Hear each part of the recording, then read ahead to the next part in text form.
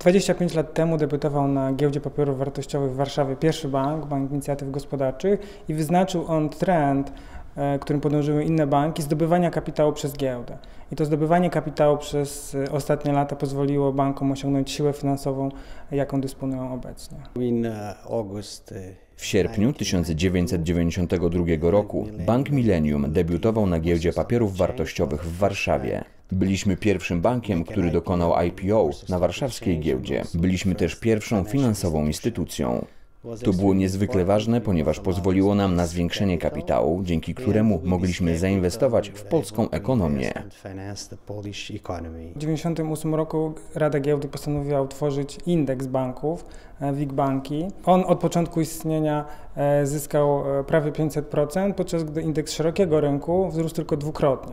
Pokazuje to wzrost zarówno siły banków czy ich wyników finansowych, jak i liczby podmiotów. During these 25 years, we had also the opportunity Przez te 25 lat nasza instytucja znacznie urosła. O ponad 300 razy urosły udzielane kredyty, o więcej niż 100 razy wzrosły depozyty i o więcej niż 200 razy urósł majątek banku. Bank. Sukcesywnie wraz ze wzrostem liczby banków czy ich siłą finansową rosła kapitalizacja banków na tle giełdy. E, Na początku było to 20%, obecnie jest już to ponad 50%.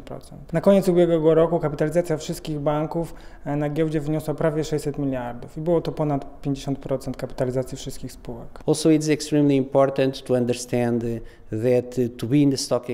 Co niezwykle ważne, obecność na giełdzie determinuje nas do bycia bardziej innowacyjnym bankiem, ponieważ jeżeli jest się na tym rynku, zawsze trzeba się rozwijać, zawsze jest się obserwowanym przez inwestorów i analityków rynków finansowych. Ta obecność na giełdzie powoduje, że trzeba być tak innowacyjnym, jak to tylko możliwe w danym momencie.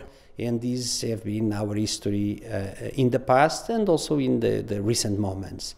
And now we look for the next 25 years. The last 25 years of the stock exchange. the Teraz czekamy na 25 kolejne years of our 25 history in lat. Ostatnie exchange, 25 and lat na rynku 25 akcji, ostatnie the 25 stock lat naszej obecności na giełdzie i ostatnie 25 lat historii Polski były pełne sukcesów. Gdy myślimy o kolejnych 25 latach, jesteśmy bardzo entuzjastyczni i pełni energii, ponieważ teraz przyszedł czas na rozwój ekonomii, więcej innowacji, patentów, badań. To przyniesie zyski wszystkim inwestorom, klientom banków i ich pracownikom. To everybody. Will be benefits for the customers, for the employees, and for the investors of the bank. Banki są e, lustrem rzeczywistości, pokazują co się dzieje w realnej gospodarce. Ostatnie lata to wzrost gospodarczy w Polsce, więc tak samo rosną zyski banków. Perspektywy na przyszłość są niezłe, więc podobnie powinno być z zyskami banków.